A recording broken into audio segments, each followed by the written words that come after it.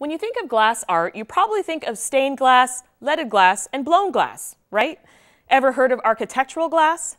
Local artist Nancy Gong has been diving deep into architectural glass techniques.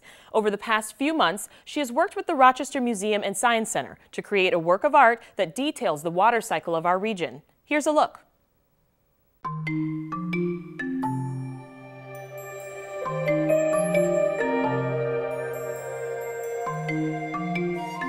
My name is Nancy Gong. I'm a glass artist. I've been working in glass since 1979.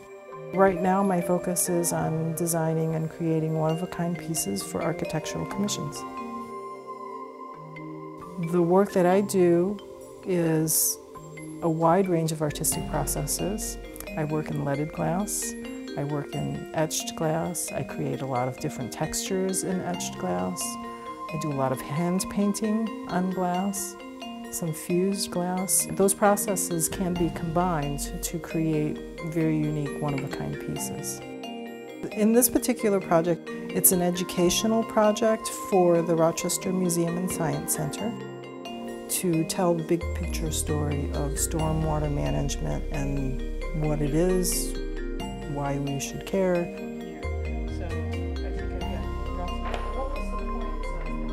The museum didn't originally know what they were looking for. My input was we, we needed to show it within the context of our specific location so that people could make a personal connection to the artwork. The design focuses on the cycle of the water. It essentially shows the Genesee River watershed. There's a lot of layers of content in the design.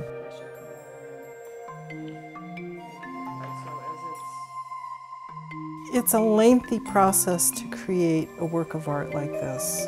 This particular design went through four versions.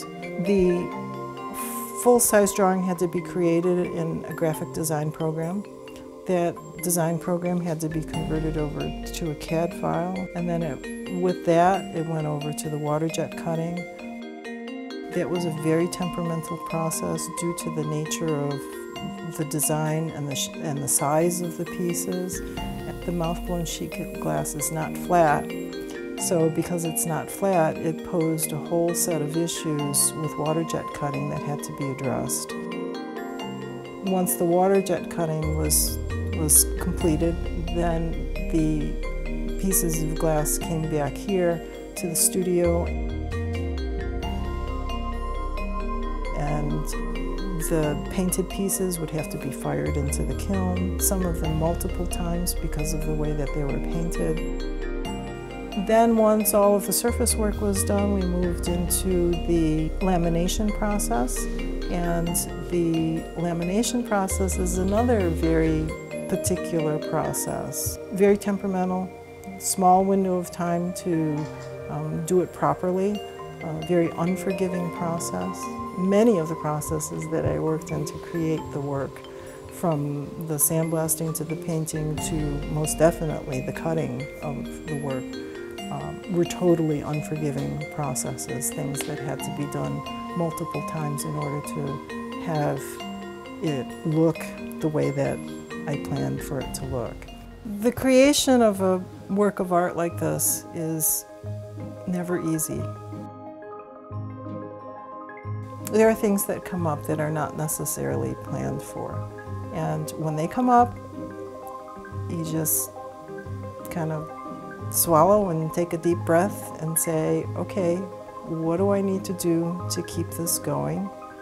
It all comes out okay in the end.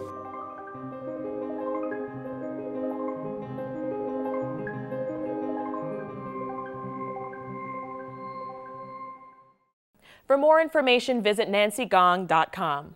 And to see this artwork, head over to the Rochester Museum and Science Center. For more information about them, visit rmsc.org.